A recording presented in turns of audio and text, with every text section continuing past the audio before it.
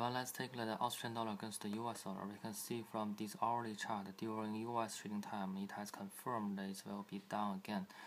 Last night, we can see it has retried the resistance level, but it has failed in this area, so it's go down. Now test the last supporting, that's the former low here.